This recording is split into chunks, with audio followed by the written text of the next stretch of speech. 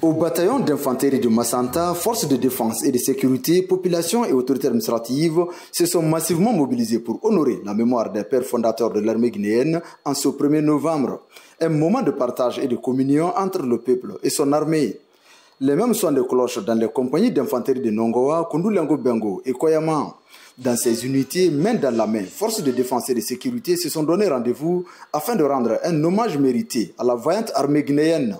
La population de Massantan se retrouve encore ce matin aux côtés des forces de défense et de sécurité pour fêter ensemble le 66e anniversaire de la création de l'armée guinéenne, l'un des symboles forts de notre souveraineté. Cette communion témoigne l'indéfectible lien existant entre les populations de Massanta et les forces de couverture territoriale qui s'y trouvent. Pour garantir et sauvegarder cet honneur de l'indépendance de la patrie au lendemain de la proclamation de la souveraineté nationale le 2 octobre 1958, le jeune gouvernement de la République de Guinée, à sa tête le président Sékou Touré, a immédiatement pensé à nommer un secrétaire d'État. Ce secrétaire d'État n'était nul que le capitaine Noumandjan Keita. Et celui-ci avait pour mission principale la création et la mise en place d'une véritable force de défense nationale. Nous devons maintenant veiller au respect de notre parole de soldat, à savoir rassembler et réconcilier tous les Guinéens pour laisser un bon héritage à nos enfants. Aujourd'hui, l'observateur attentif de la situation de l'armée guinéenne peut constater une amélioration du comportement des militaires guinéens en général, plus particulièrement ceux de la compagnie d'infanterie de Nongoa et de leurs relations avec la population civile. L'armée guinéenne a été créée au lendemain de la proclamation de la souveraineté nationale le 2, le 2 octobre 1958.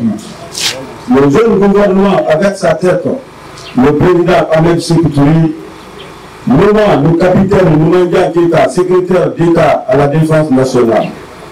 À sa création, l'armée guinéenne ne comptait que 737 hommes, dont 50 sous-officiers, 75 caporaux-chefs, 135 caporaux et 477 soldats. Dans le bec du perroquet et dans la ville de Kisikaba Keita, les relations civilo-militaires ont été mises en avant dans la célébration du 66e anniversaire de la création de l'armée guinéenne.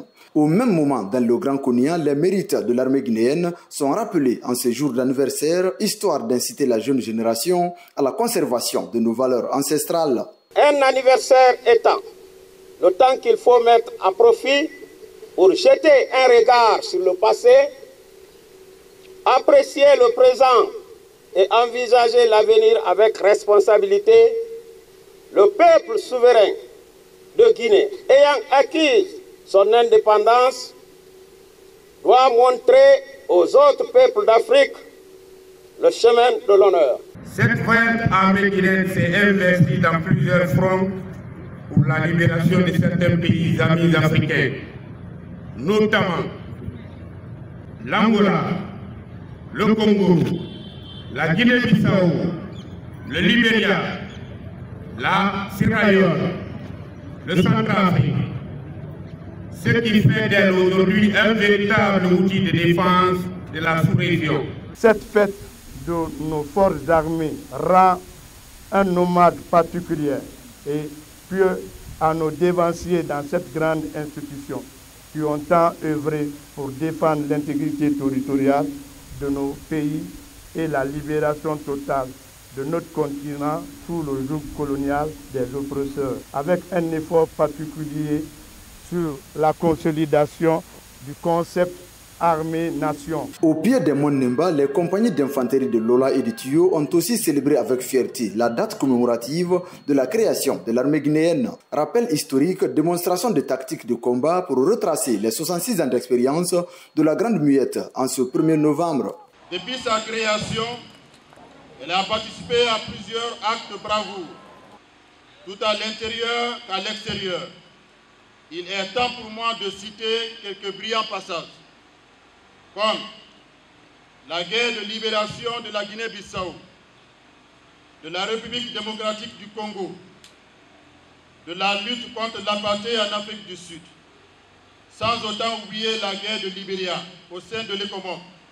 Au camp général Galeni, actuel camp Kemeburama de Kindia, c'est là que le capitaine Noumandjan Keta a eu à constituer les premières unités.